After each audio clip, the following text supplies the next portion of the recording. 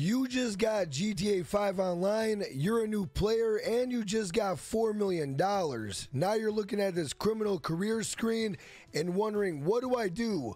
Which one to pick? In this video, I'll be covering the executive criminal career path, showing you the best bane for your buck, and get you started on the right foot in GTA Online as a new player. So when you go here, you got to pick an office, a warehouse, a vehicle, weapons, and this is your summary page on how much you spent.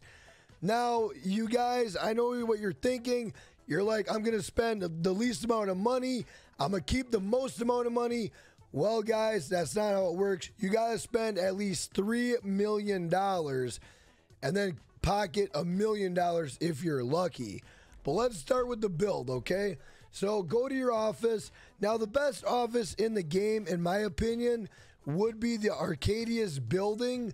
But for purposes of this video and you just starting out, let's just go right into the meat and potatoes and let's go for the Maze Bank West and then also a garage so you have your car that's accessible right there. Your warehouse, let's go big. 42 crates, 902,000. You look at the location, not too far from Maze Bank. So then you can run back to Maze Bank and so on and so forth. Now, for vehicles, this is obviously a preference, but what I would suggest to you is I would get the Armored Kuruma.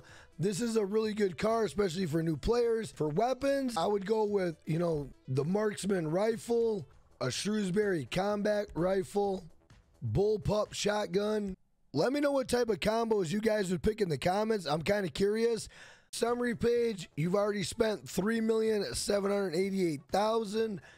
You got 211,000 remaining that you can spend in the world in GTA Online. Go to start career and you're good to go. If you guys like the video, please leave a like. If you're new, drop a sub and don't forget to ding those bells. With that being said, I'll catch you guys on the next one. Peace!